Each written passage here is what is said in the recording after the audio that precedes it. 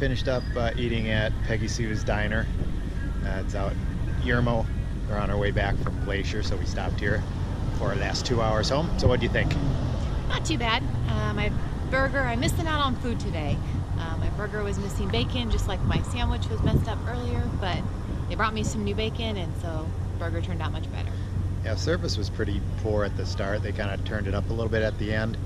Uh, food was okay, nothing spectacular. Something to check off our list. Every time we drive by it, we always wonder about it, so now we can say we've been here.